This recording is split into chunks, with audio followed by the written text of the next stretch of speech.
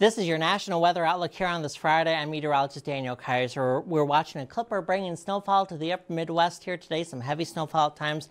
That moves south and east as we head into the weekend, early next week as well, with more impacts. We're also watching wind chill concerns tonight in the northeast. But snowfall accumulating here on the roadways in Devils Lake, North Dakota and even on the grassy surfaces here in Brookings, South Dakota as we went through the overnight hours. That clipper bringing one to two inch snowfall rates per hour at times as we head through the day today in the upper Midwest. System moving off the northeast helps to bring in that chillier air as we work into tonight. But you can see that system here in the central U.S. continue to move southward as we head into the weekend, bringing some wintry concerns this weekend to the southern U.S. and then eventually by early next week into the northeast. But numerous winter storm concerns in place with this system as we head through the next several days.